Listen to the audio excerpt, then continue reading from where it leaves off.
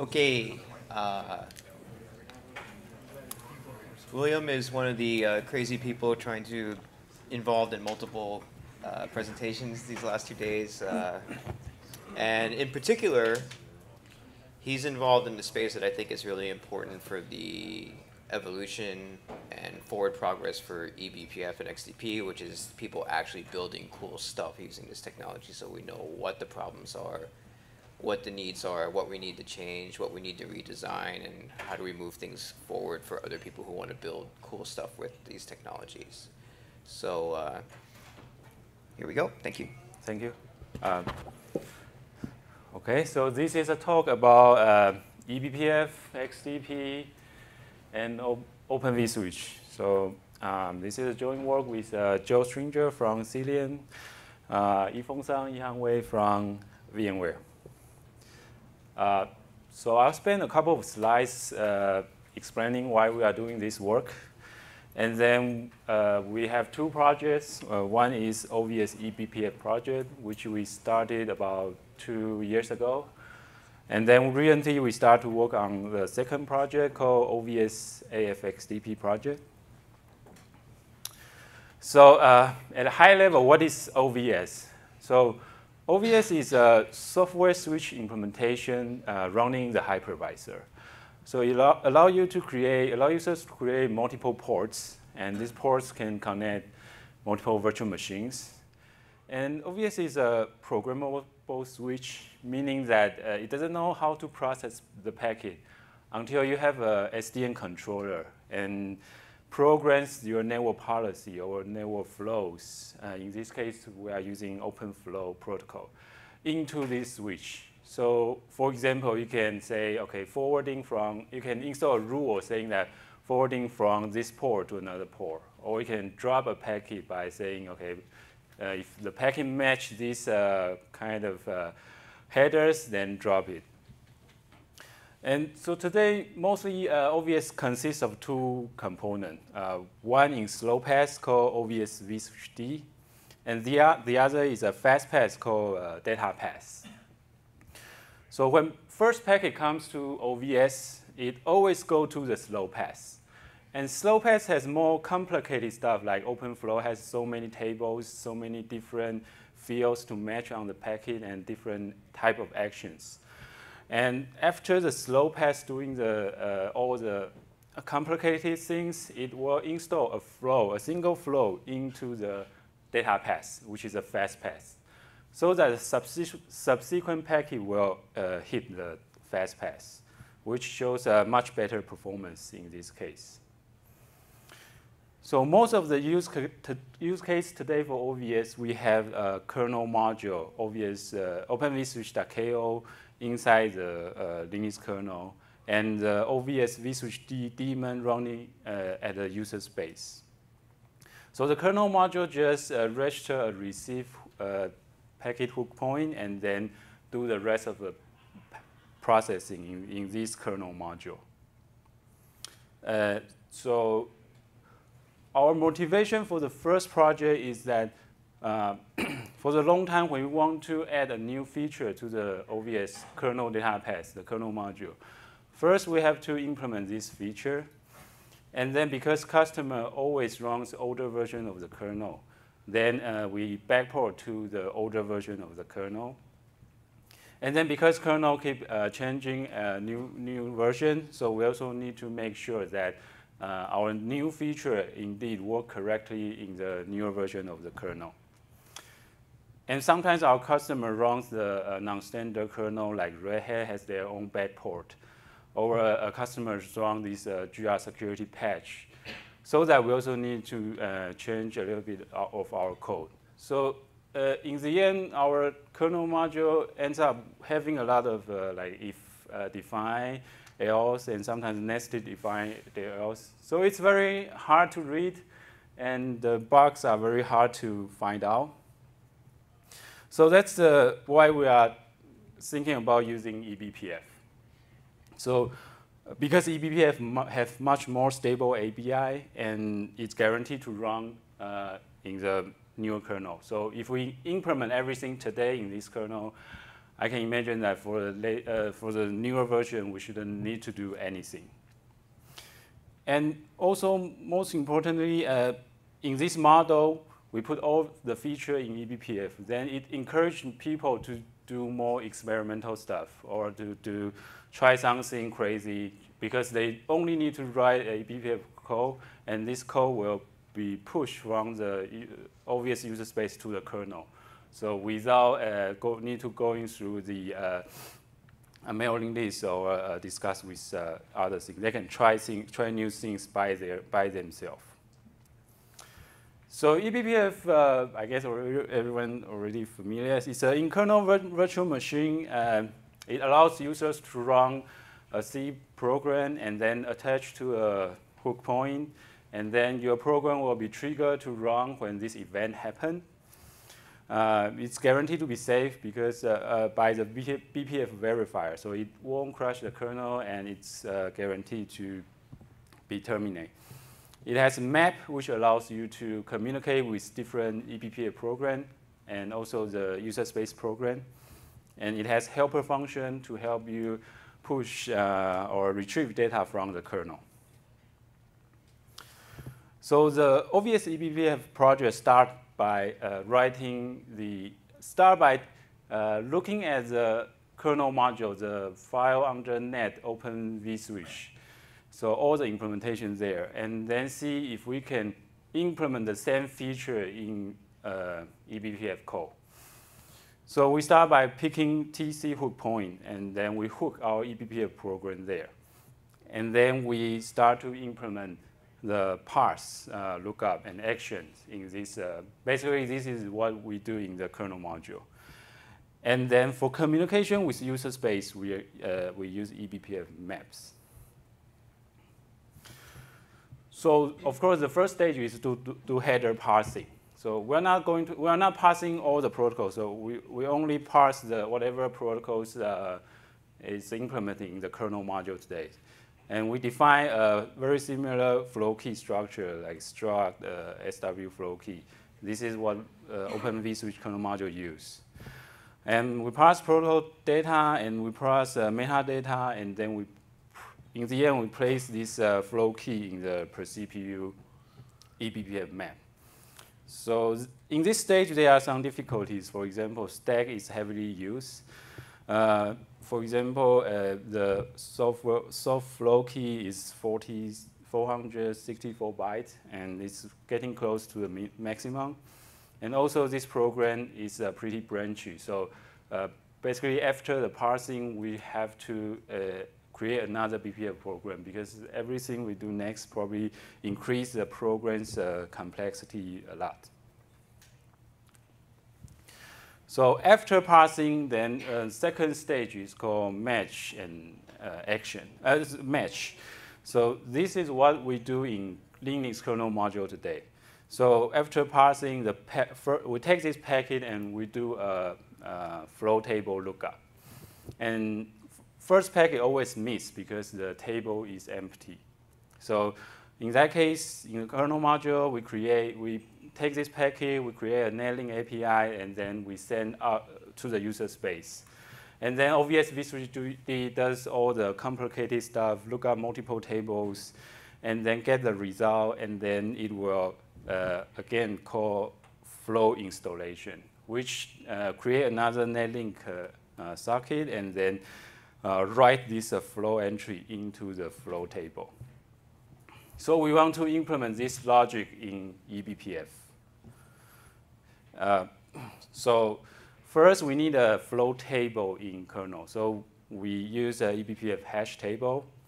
And then after the parsing stage, um, we want to pass it, the packet to, first packet will miss the hash table lookup, and then we want to pass it to user space. So we use a perf ring buffer, the helper function, uh, which allows us to put packet and then to the user space.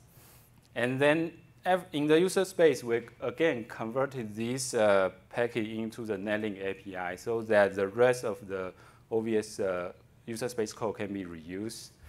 And then when uh, OVS finish processing, it will uh, use the Netlink API to do flow installation. In this case, uh, OVS uh, put packet into a TLV format. But how, uh, so which means each time the length might be different. So because eBPF in the beginning, we have to, uh, the size of the map need to be fixed at the loading time. So we have to convert this uh, TLV, uh, netlink TLV into a fixed length array and then uh, put into the eBPF map.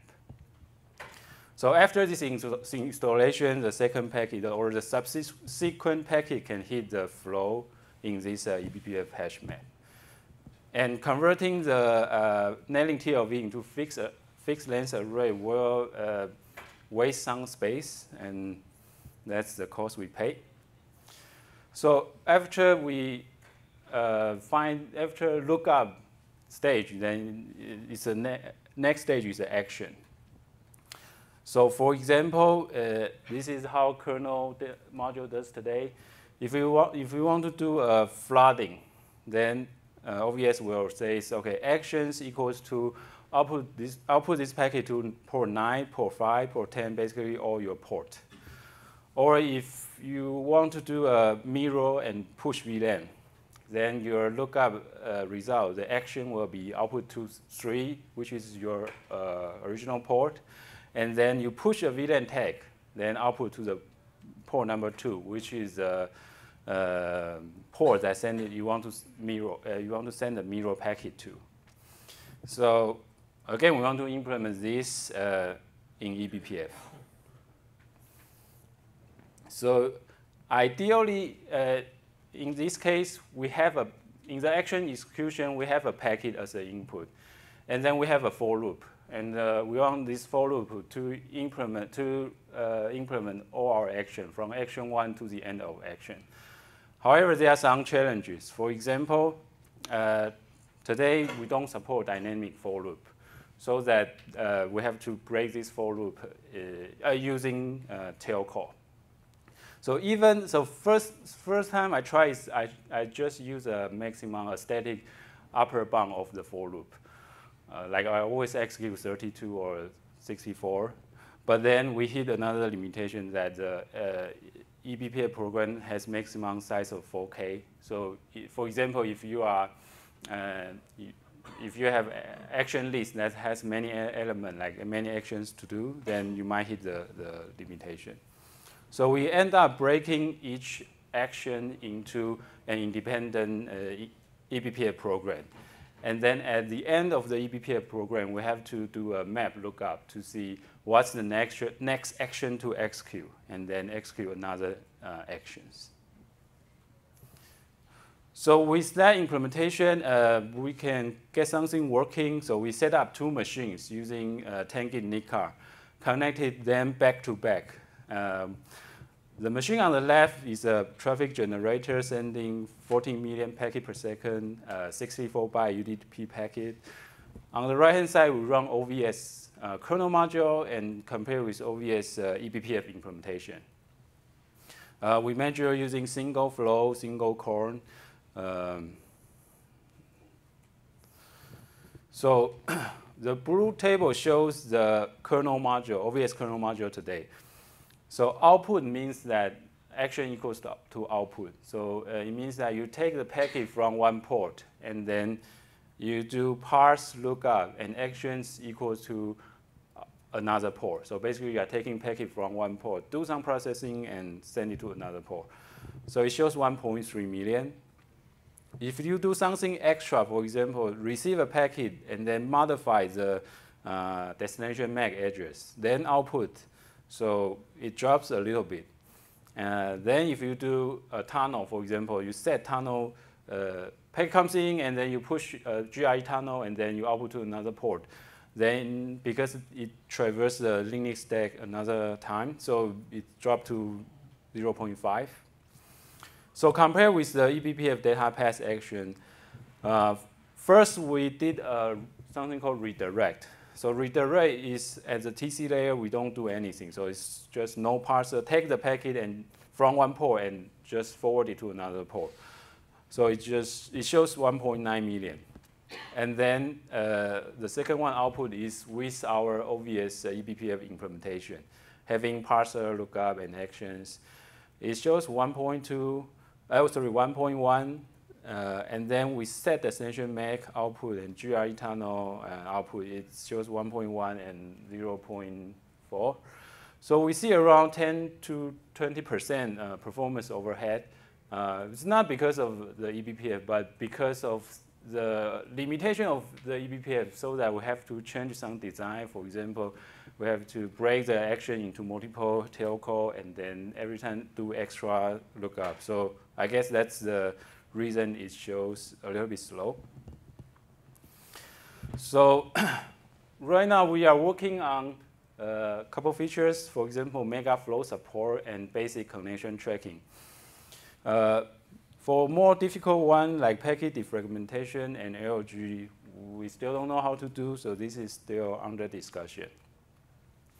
So the lesson learned from this project is that uh, taking the existing features like kernel module code, OVS kernel module code, and convert it into eBPF is a little bit hard. Although they are both C code, and, and then you cannot say copy this 10 line of code or 20 line of code from your kernel module and then to eBPF code. I guess this is because, for example, for loop have to, uh, there's no for loop support, so we have to break our program, or there's limited stack size, uh, or uh, there's no dynamic memory allocation there, so we have to do a lot of conversion. So uh, it ends up that uh, when you want someone to do this work, uh, actually they have to change their mindset a lot. Like it's not, although it's all C code, but it's totally, it's totally different. So then we start to think about uh, this uh, AFXDP work. So if uh, pushing all the OVS data path feature into uh, eBPF code is uh, difficult, then maybe we can try retrieve the packet from the kernel as fast as possible, and then do the rest of processing, the parse lookup, tunnel implementation, whatever, in the user space. Uh, so it has two concerns here. So first, once we take the, the packet to the user space, uh, then we lose all the chance of using the kernel's code. For example, today OVS kernel module use a lot of uh, tunnel implementation, VXLAN, Geneve, uh, GRE, ERSPAN. Or we use uh, QoS, the TCQoS, and, and we also use the data structure there. We use uh, net filter connection tracking feature in our kernel module.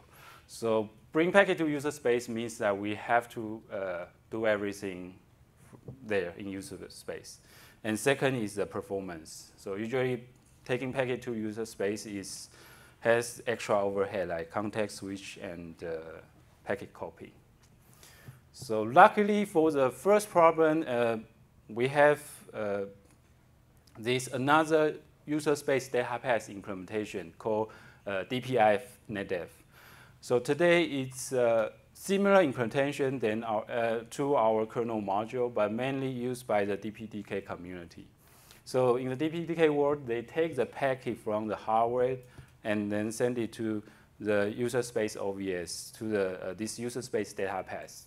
And then it has another implementation of, uh, of the OVS data path.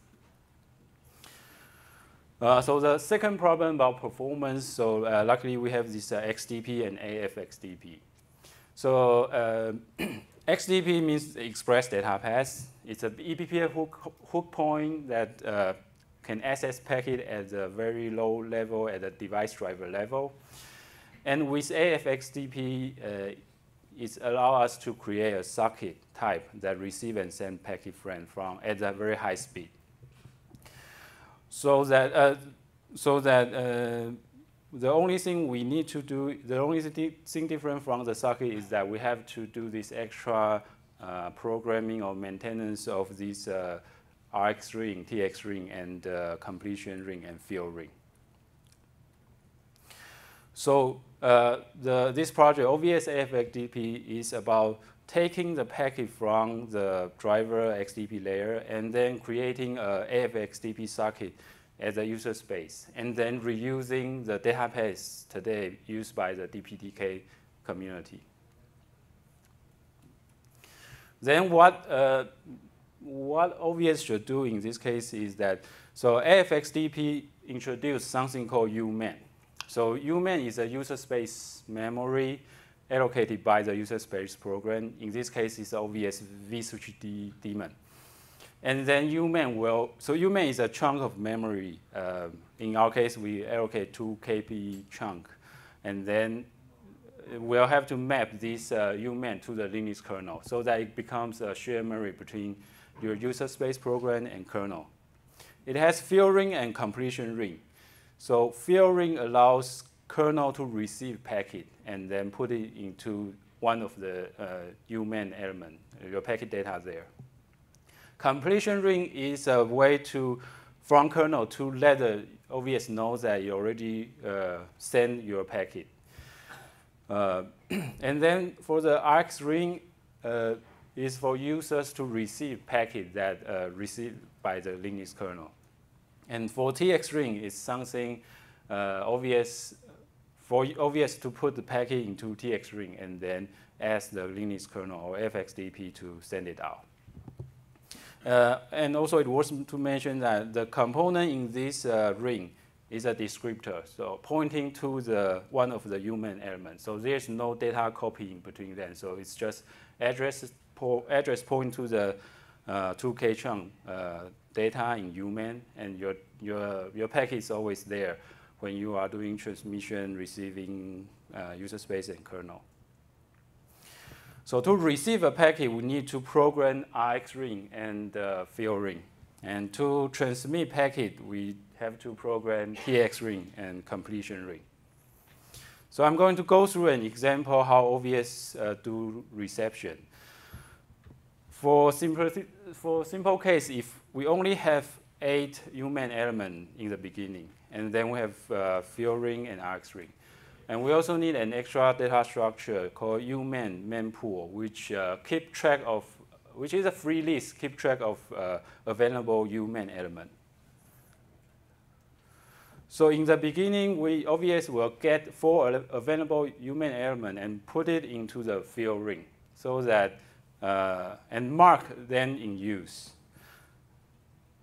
So once we put a descriptor in the fill ring, kernel can receive this four packet.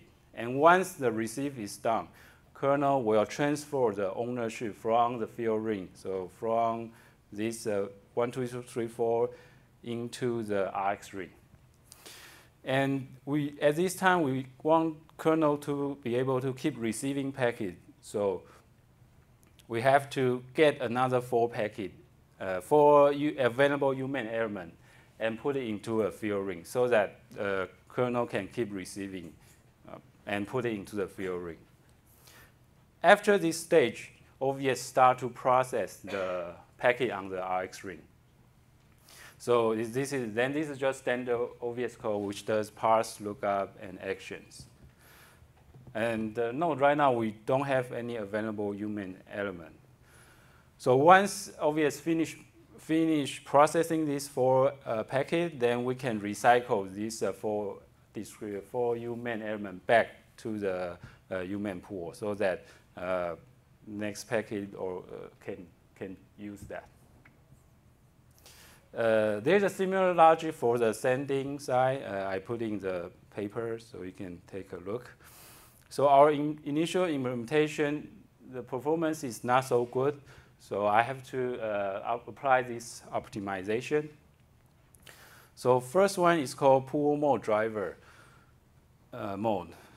So without poll mode driver, OVS uh, OVS use poll system call and then wait for new I.O. This turned out to be pretty slow because every time you go to the Linux kernel and context switch back, it takes a couple microseconds.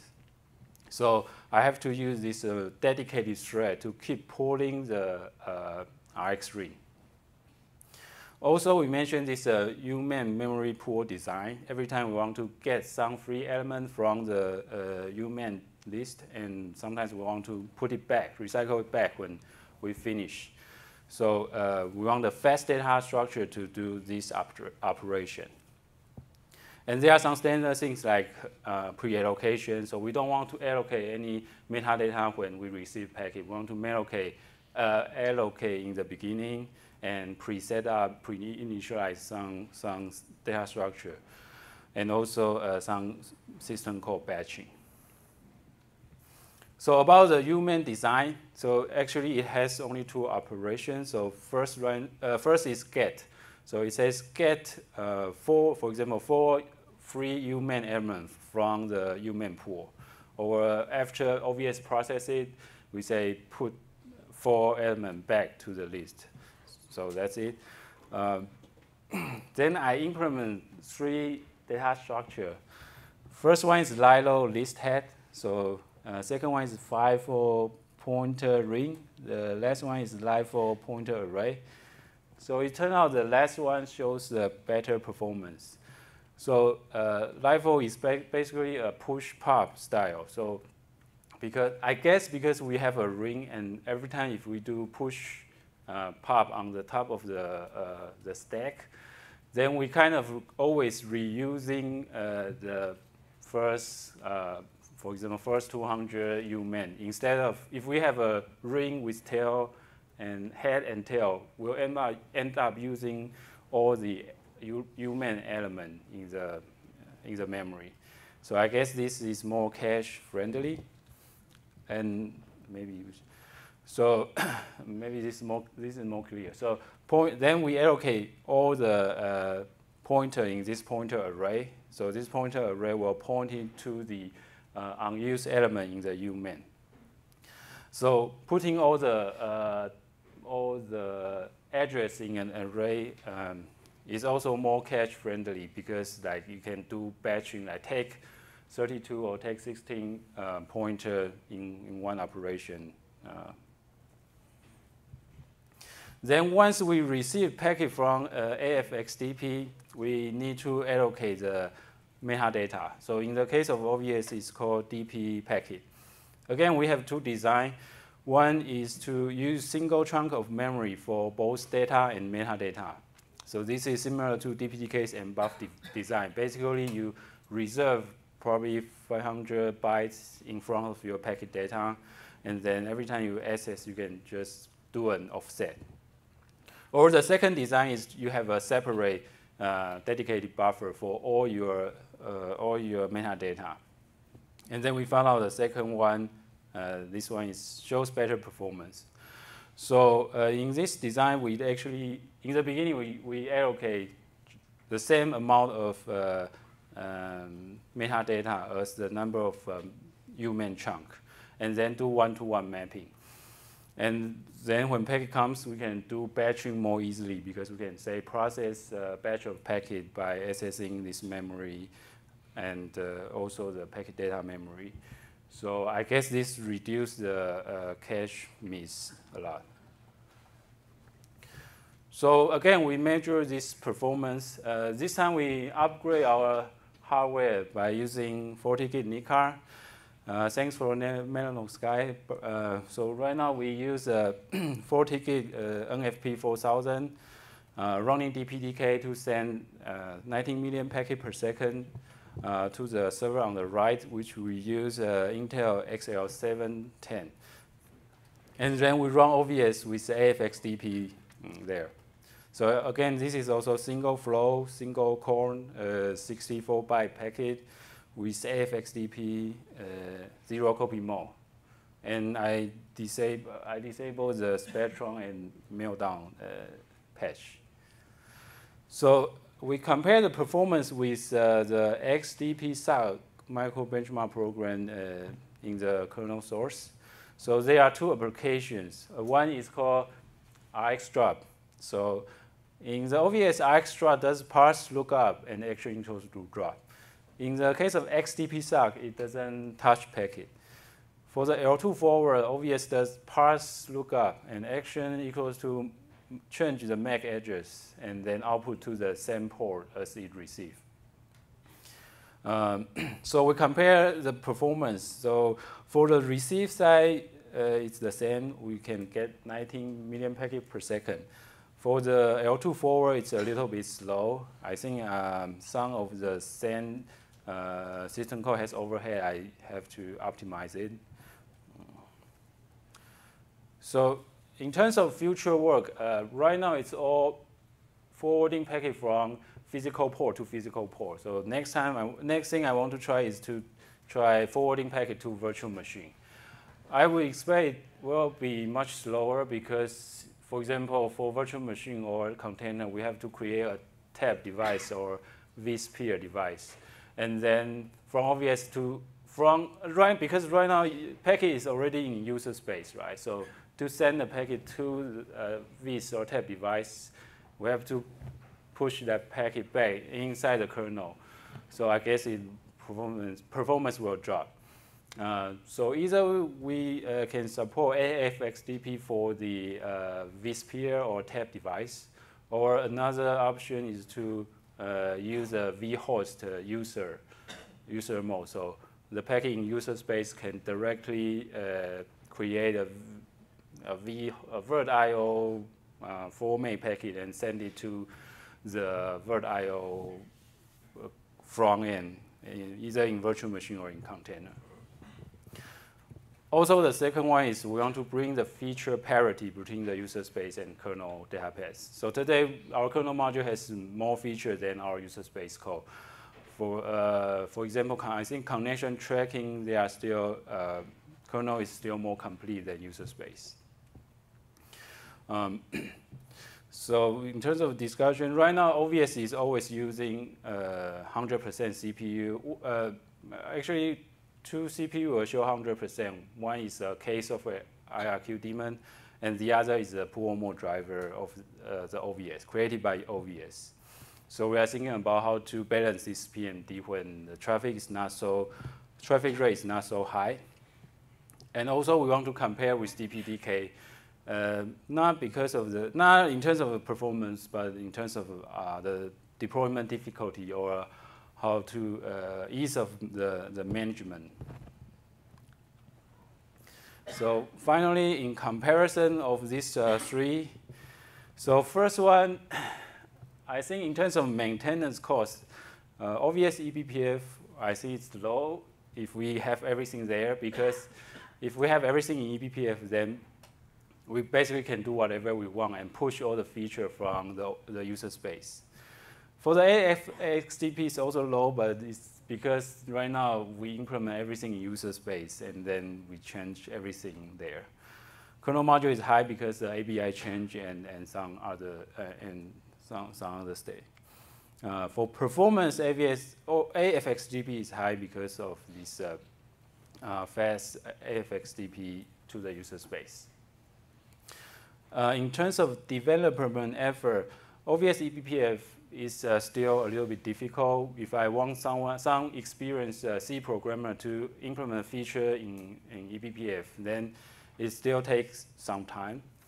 FXDP is easier because it's then user space, easier to debug, easier to uh, call into other library.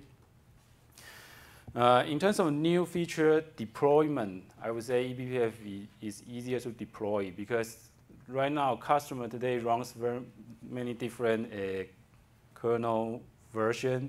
And then if we can uh, have this in eBPF, then once we know the version support, then we can deploy it.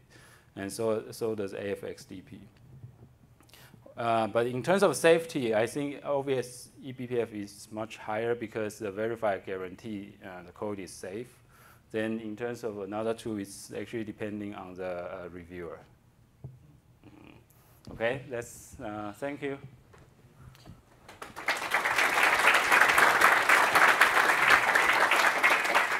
So I, I want to address a, a, couple points. Uh, so since you're going through the classifier to do the eBPF implementation of the OVS data path, yeah.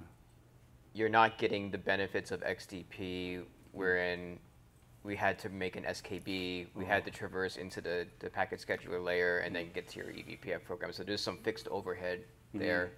So if you went to an XDP-based solution, you could eliminate some of that overhead. Yes.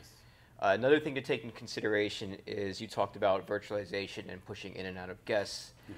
And with the AF_XDP situation, you have the same problem DPDK has, where that you have to cross the protection boundary again to push the packet back into the virtualization layer. Yes, yes. If you were able to get feature parity with the BPF solution with XDP, as you get with AF_XDP. You would be in the kernel already and you wouldn't have to cross this protection boundary again. Yes. So there is a huge incentive to somehow make the BPF implementation performant. Mhm. So I just I think those are all the things you need to consider as you move forward and decide how to attack different approaches. Yes. Any questions for William? Yep. Um, one of the pain points, if you consider OVS with TC offloading, is that the flow install rate can be quite low. Uh, have you considered this one when doing this project? Sorry, your question is uh, TC, what is very low? TC of low is very low? Yeah, TC of loading can be quite slow, especially. Quite slow. Oh, okay. Yeah. Okay. And if you try to insert like 1000 flows in the data path, they can get even slower and slower as the amount piles up. Mm. And have you considered how fast or how slow it can be to add a new flow in the data path while Oh. using eBPF? Right now, the, we implement flow in eBPF map. So every time we install flow, it's basically updating the eBPF map. Uh, so we are not using TC of flow today. So another way to think about this is so OVS has a backend for the data plane, which is make TC flower rules Oh, yes, yes. and offload that onto the hardware. Okay. What if you generated your BPF program in the flower classifier, taking all these rules into consideration? Oh, okay. Do you see what I'm saying? Uh-huh. So that's another idea we, we, Mm. we people talk about. So if we had a BPF program generated from the TC flower rules, you Oh, you can. yes, Okay, okay. so that's a that's Oh. a third approach. Okay. So, so Yeah. there's many different avenues to attack, and again, the eBPF-based solution would be superior for the virtualization case, as we discussed earlier. So Mhm. there's very a lot of things to think about. Okay. There's another hand that was up over here. Yeah. Uh, do you have numbers comparing the performance of uh, OVS AF_XDP to OVS DPDK? Oh, uh, I don't, but OVS DPDK, people do the performance comparison of OVS DPDK a lot. So right now, I think our implementation is slower than OVS, OVS DPDK because uh, I think there are still some optimization I have to do. Yeah. But basically, I would say as the OVS, the data layer, they are, we are using almost the same code. So if there's extra overhead or OVS AF_XDP is slower, then it's probably because of the interface. I try to receive the packet from AF_XDP, create some overhead. Once we get the packet, then it's the same uh, OVS DPDK. That is the same code as OVS DPDK. Uh, one, uh, sorry, one thing I need to mention is that right now, uh, if we get packet from OVS DPDK, then it already has this RX hash there. But in the case of AF_XDP, we have to uh, calculate the RX hash. Um, another thing worth you you mentioned that um, you're using facilities in the kernel like connection tracking and VLAN offloads and so on. So like to expand on what Dave was saying, if you go the route of like right now you're implementing eBPF but not getting the AF the HTTP speed up because you're still going to the stack. So one thing you could think about is which features from the kernel do you need if you were to implement it in XDP and which helpers would be useful to try to hook into some of these features, um, f- even from an XDP context, so that you can get the speed up but still use what you need to do from the rest of the kernel. So do you? So just to recap, so do you, you say that to compare these two performance, I can basically see what the overhead right now in OVS eBPF, and then implement some of them in the XDP layer, so that the two project will have. Or, or if you move the whole data path into XDP, oh, okay, okay. Mm. what subsystems would need to be able to handle SKB list packets mm -hmm. that cannot currently do so? Connection tracker would be one of those locations. Oh, yes, yes. yes. And probably the QoS. Uh, yes, yeah. that too.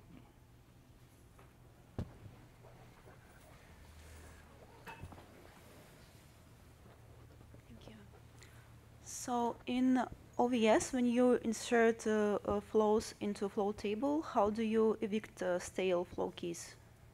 How, how do I what state? Evict, evict. How do you? Oh, evict. How do I evict? Okay.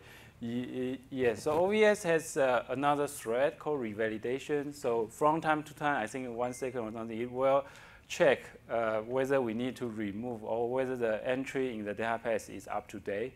So if not, then it we'll, try, we'll delete it. So in the case of OVS eBPF, we'll just uh, do remove this entry from the uh, eBPF map. The, Okay.